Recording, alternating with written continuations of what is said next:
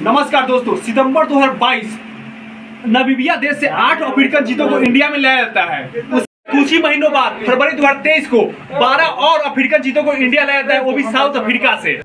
Kuno national park में छोड़े गए चीतों को देखने के लिए देशवासियों को कुछ महीने का धैर्य दिखाना होगा।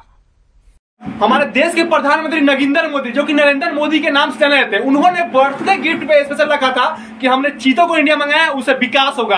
भाई, उसमें से आठ चीता ऑलरेडी मर चुका है जिसका कोई बात ही नहीं कर रहा। आज हम उसके बारे में आपको बताएँगे ए टू जेड ये गाड़ी में जीपीएस लगाया जाता है, लेकिन इस चीते में भी जीपीएस लगाया गया था। वो जीपीएस में बताइए कितना खर्चा आया होगा और कितना करोड़ों का नुकसान हुआ होगा। लेकिन मीडिया वाले आज इस पे कुछ बात नहीं कर रहे। वो आठ चीज़ों को क्या होगा जो वहाँ से लाया गया था?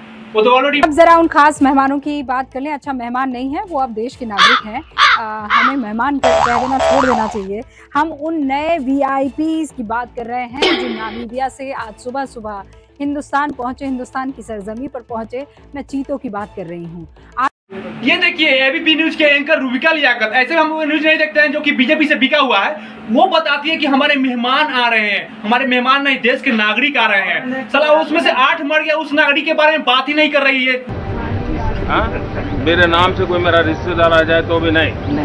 जब तक उनका समय पूरा होगा उसके बाद लोगों को भटकाने के लिए कुछ मीडिया वाले कुछ चूतिए मीडिया वाले जिसको हम लोग चूतिए बोलते हैं जो कि ये सब वीडियो दिखाते हैं। उसने लगभग दस दिन ये वीडियो दिखाया था कि देश में आठ आठ नहीं, बीस चीते आया था। बीस चीते खाली चीता चीता बात कर रहा था। चीता चीता